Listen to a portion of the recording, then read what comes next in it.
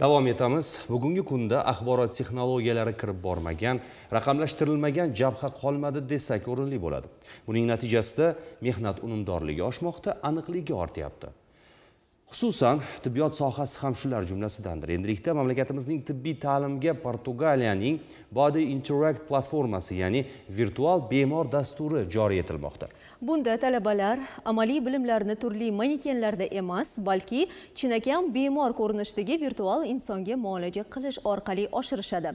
Muxbirimiz nargiza bobojonova toshkent pediatriya tibbiyot institutiga borib sinov sifatida o'tkazilgan ana shunday tajriba darslarini kuzatdi. Virtual bemor platformasida bugun 200 dan ortiq klinik holatlar mavjud bo'lib talabalar ularni ko'rish o'rganish tahlil qilish imkoniga ega. Ya'ni bu yerdagi taqdim etiladigan bemorni davolash yoki o'lim holatiga olib borgan holatda bu yerdagi kamchiliklarni ko'rish o'rganish baholash imkoniyatiga ega bo'ladi.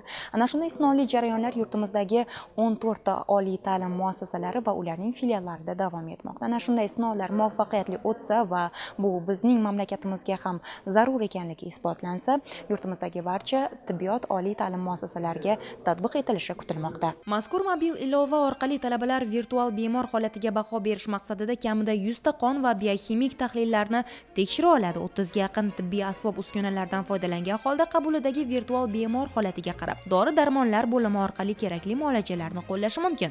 Bu jarayonga vaqt belgilanadi va bu orqali inson hayotini saqlab qolishga mas'ul bo'lgan bo'lg'usi shifokorlarning tezkor harakatlanish xususiyati ham ham shakllantiriladi. Albatta bu platforma hozir bizga kerak chunki amaliyot eng muhim narsa bizni kasbimizda. Mavzu o'tayotganda shu bemor bo'lmasligi mumkin. Keyin e, talabalar e, odatda guruhda sakkizta o'nta talaba bo'lsa e, har bitta talabaga shu bemorni o'z qo'limdan qanaqadir muolajani bajarishga imkoniyat unchalik bermaydi.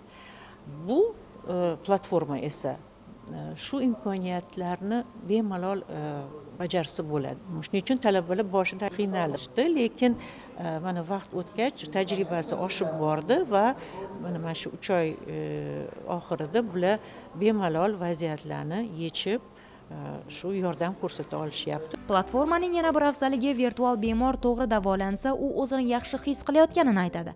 Aksincha noto'g'ri dorilarni tanlasangiz bemor holati og'irlashadi.